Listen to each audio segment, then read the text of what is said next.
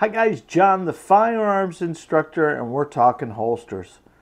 We're talking concealed carry holsters. Um, there's a lot of them out there on the market today.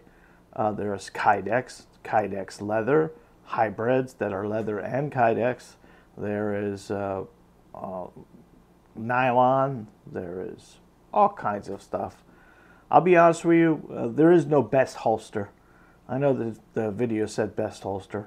But the best holster is the one that you find you like.